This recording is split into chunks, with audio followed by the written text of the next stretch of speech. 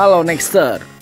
Jabarpublisher.com dan JPNX TV hari ini akan mengulik sejumlah ruas jalan yang masih rusak berat. Bukan mitos memang jika di Cirebon masih banyak ditemui ruas jalan yang rusak parah. Kontur kerusakan jalannya pun bermacam-macam.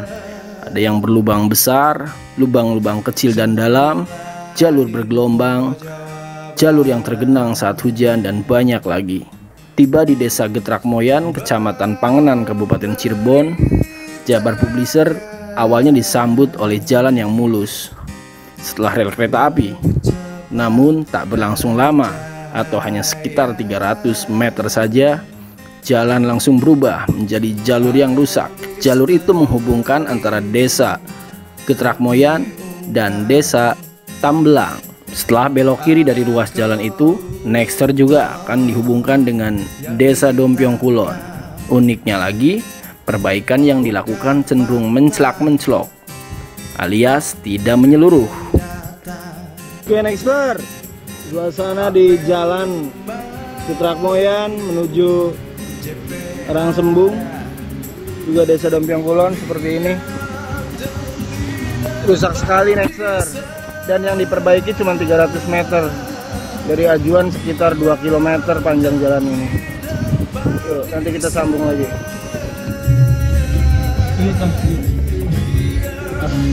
Jadi bukan mitos bahwa di Cirebon ada jalan yang masih seperti ini cuma bukan mitos masih banyak Nah sampai sini next kira-kira jalur yang agak beres tapi ke sananya rusak lagi yang menuju ke arah desa Tambelang nah ini dia jalan yang sempat longsor dan baru diperbaiki akhir tahun kemarin. Masih lumayan bagus ya masih kokoh jembatannya.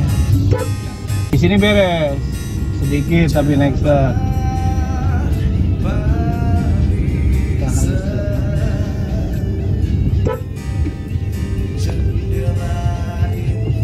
jalannya juga sempit jadi kalau ada motor yang sembarangan parkir di tepi jalan nggak akan muat untuk dua pelintasan mobil. Lanjut. Hmm. nah di sini juga rusak lagi. Jadi bingung juga ini sebenarnya Renstranya gimana sih dulunya apa selang sekian puluh meter rusak benar. Rusak lagi benar lagi.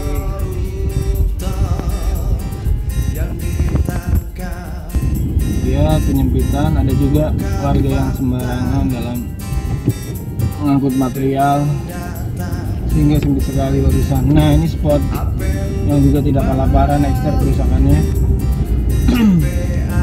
Dan jalan ini menjadi kewenangan dari dinas bina marga atau dinas penataan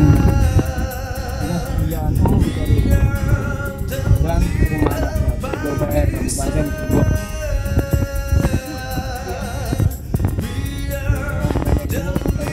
dia aktif. Di off-road, ah.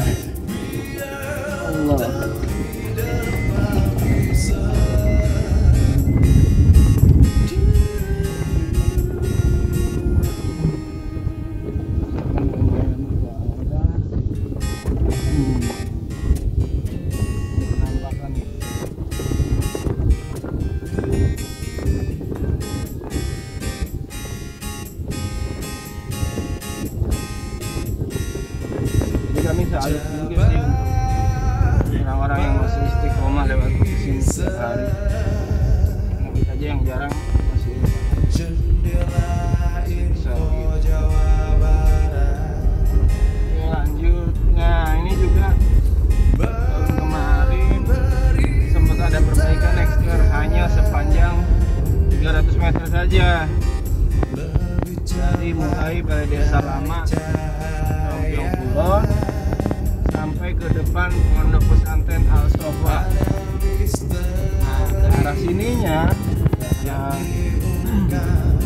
truk moyannya itu tidak dilanjutkan sehingga yang seperti yang bisa lihat inilah jalannya Nah ini di spot ini, di spot saya ngomong sekarang ini di area yang sudah benar. Lihat perbedaannya Nextler. Udah mulus dan lagi-lagi tidak terlalu lama atau tidak terlalu panjang. Nah di sinilah Ponpes Al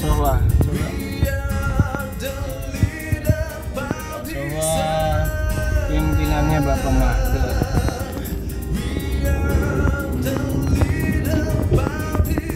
Oke bagi warga Dompiong Kulon dan sekitarnya yang mungkin ada di luar negeri dan sedang kangen kampung halaman pasti sangat rindu juga ya dengan pemandangan seperti ini. Nah ini kondisi balai desa atau kantor desa Dompiong Kulon yang lama yang sekarang dipimpin oleh kubu Bapak Abdul Halim. Oke ini balai desanya yang memang sudah tidak layak ya untuk dijadikan kantor desa. Oke, satu lagi Nexter selain kerusakan jalan yang bukan mitos, real, di sini juga sangat minim penerangan atau sangat minim PJU penerangan jalan umum. Sehingga selain potensi kriminalitas yang besar, juga sangat sering terjadi mudah-mudi yang sengaja berpacaran di sini di jalur ini nih. Di jalur Dompiong Kulon arah ke Dompiong Wetan. Karena kalau malam itu gelap gulita ekster di sini. Nah satu lagi dari sisi mitos di jalur ini juga jalur kereta ini dipercaya ada makhluk halus yang diberi nama si tenguk. Nah sedangkan ini yang diarahkan kameramen kami itu kantor desa yang baru. Uh, mataharinya belakang oke demikian laporan tim JPNX TV dan jabarpublisher.com dari jalur Dompiong Kulon, Dompiong Wetan